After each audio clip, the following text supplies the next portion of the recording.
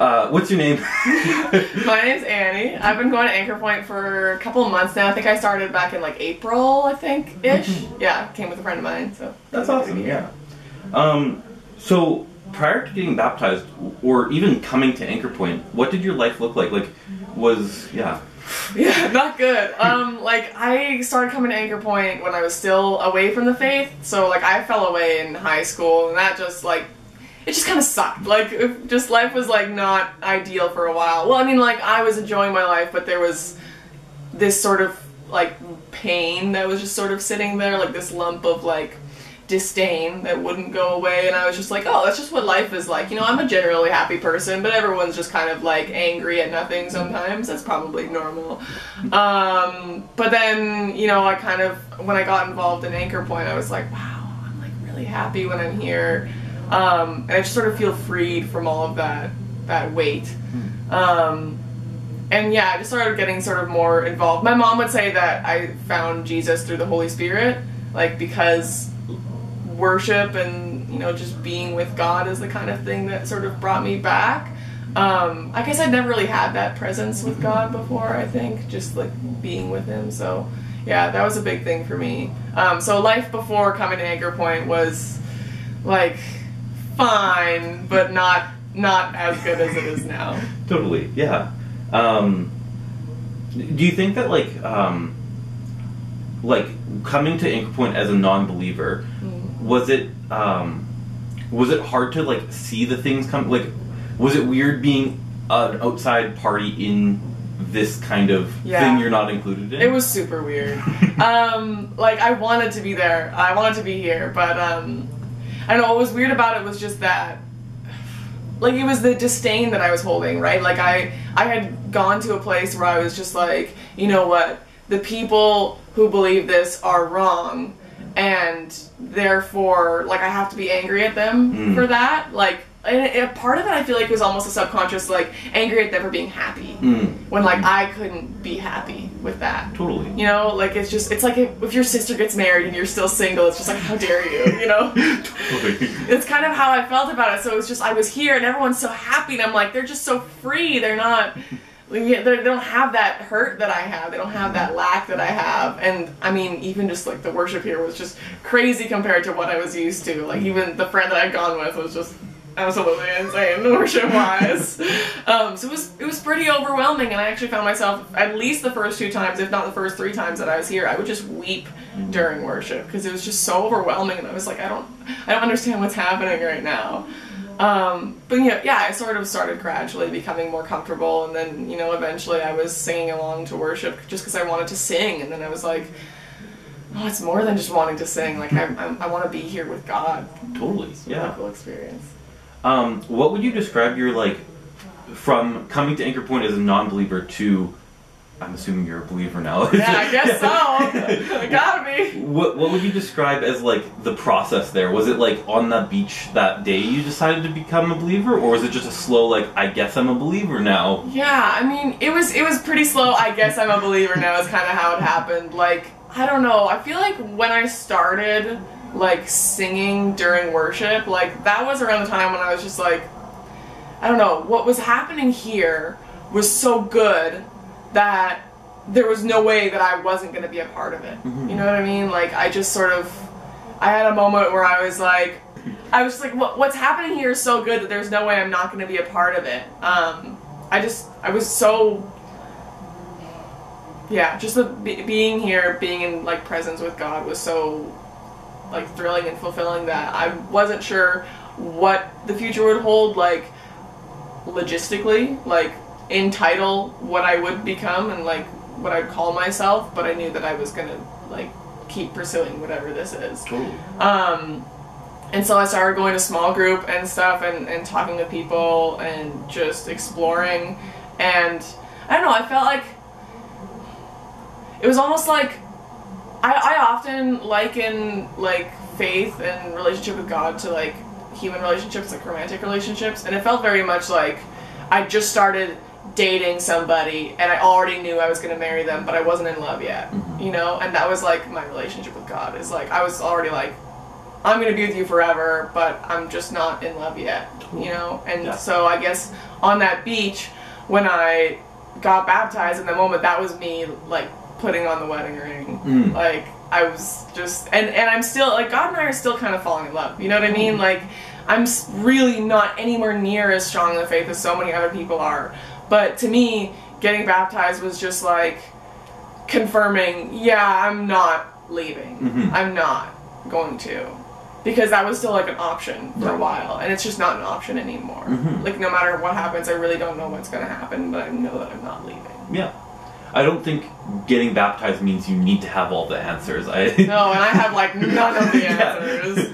But it, it, I think a very like that analogy of like putting on the wedding ring, like that's a very good like Yeah. you're making that promise Yeah. at this point. I think that's that's beautiful in some ways.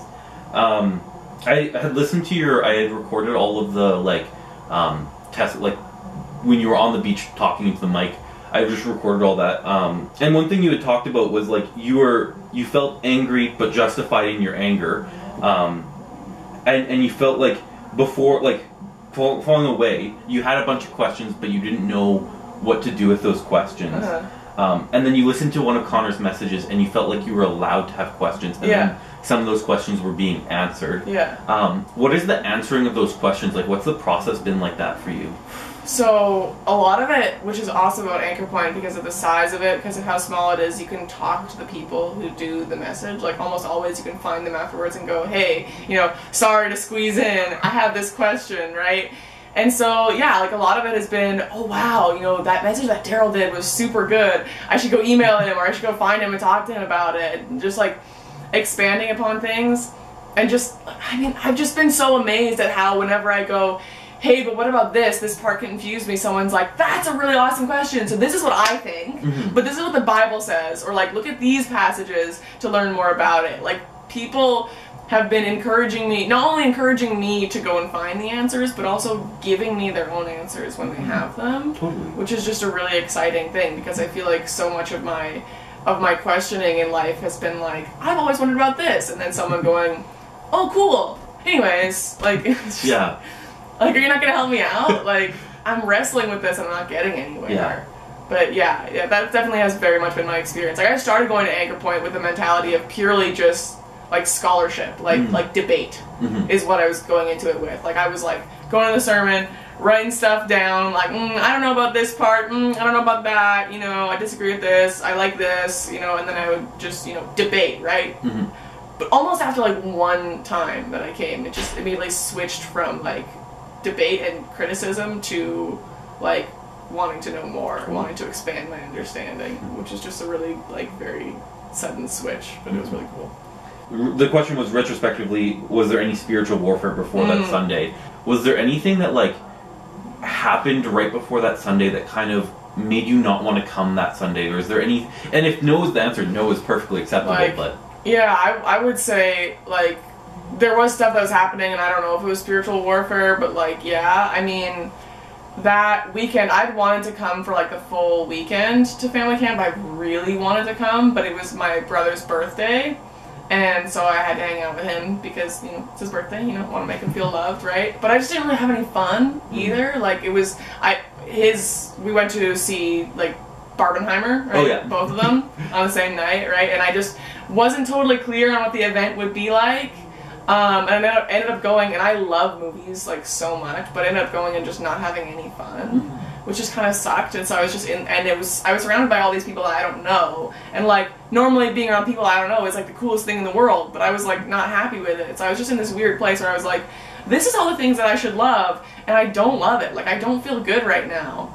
Um, and then I also had this experience where like um, on the beach, uh, a friend of mine who just was one of those friends who like they needed more from me than I needed from them, Mhm. right? So it wasn't really like a balanced thing. Like this friend of mine suddenly messaged me and just said like I'm gonna stop talking to you Mhm. because like you know it's just unhealthy or you know I just don't I feel like you don't really like me or that kind of thing. You know it was just sort of a, a an emotional dump like while I was sitting there on the beach already having this like whole emotional thing going on. Um, so yeah, there was definitely a lot happening, and I kind of feel like in a lot of ways it was like life or the enemy like trying to distract me from the good that was right in front of me. Like there was so much that i was like trying to focus on. Like i was really psyched about being at family camp but i just felt like there was so much going like hey but what about this pain that's in your life? What about this pain that's in your life? What about all these things that you need to be thinking about? And then michaela came up and sat next to me and went I have clothes in my car if you need them. And it was like Jesus was sitting on my shoulder, being like, It's okay, you can put all of that aside because you and I both know that you want this. Mm-hmm. So yeah, I guess I guess I would say there was. I've never really thought about it that way, but yeah, I was. I would say there definitely was spiritual warfare going on. Mm-hmm. Yeah. Yeah. Um, yeah, I think I think there's a lot of reasons the enemy doesn't want us to get baptized, and like even just that like that again that promise of like the wedding ring, Yeah. like vows, like he's doing everything in his power not to let you put that wedding ring on, and like trying to convince you. And so I don't know, maybe that wasn't spiritual warfare, maybe it was. Like I don't think we'll know until we get to heaven, Yeah. but.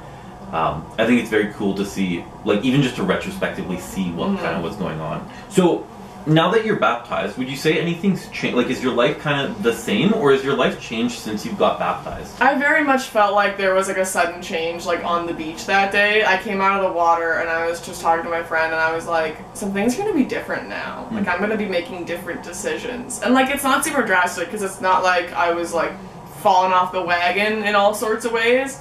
But it's like, you know, I would meet somebody and like flirt with them a little with like no intention of doing anything and not or taking the relationship anywhere and then I got baptized and I was like I don't need to be doing that anymore like that's not what relationships are all about. Like is that kind of thing just like little life decisions where I was realizing that it's like that's not what God wants for me and sort of I guess it sort of was the beginning of a gradual transition of beginning to want what God wants for me Mhm. I think. Yeah Has there been any ways that, like, your walk with, like, how you've been growing in your walk with, like, God changed? Like, has that been just the same process before and after baptism, or have you, like, changed your approach on your walk with God?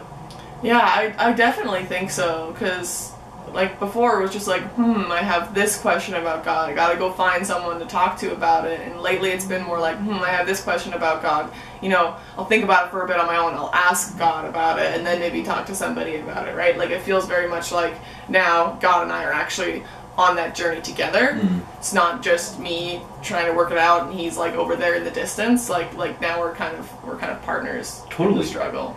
Kind of like getting God to, like, making your walk with God your own and not, like, dependent on someone else. Like, yeah, yeah, yeah. very much so. Yeah, No, that's really awesome. yeah. Um,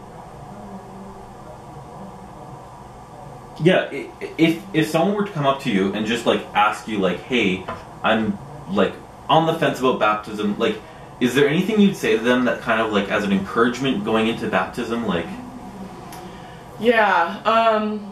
So my situation was I thought that I couldn't get baptized because I just like wasn't confident enough. Like I just thought thought that I thought that my faith wasn't good enough.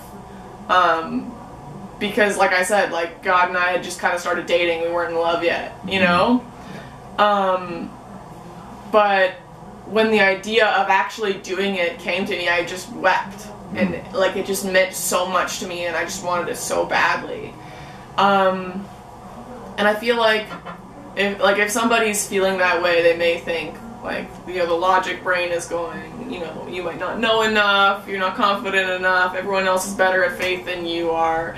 But the fact is that like baptism really is it's it's like a promise between you and God. Mhm. And if you and God want to make that promise, like nothing's gonna stop you. I mean, like that day that I got baptized, there were tons of like kids getting baptized who were like super young, and it's like they have so much life left to live, so much more of God to discover. But that doesn't mean they can't make this promise now, saying like we're in this together. mhm. Like that, and that's really what I think it is. Is it's just it's saying to God, we're in this together. yeah. Yeah. There's a really um, cool part in your testimony that you had talked about where you had said, "Why not now?" Like it was Yeah. kind of just that like that like last point of like, why not? Like Yeah. like has that like been a continual theme in your walk? Like this idea of like there's no reason not to do it now. Has that been a continuous thing, or has that kind of just been a one-off?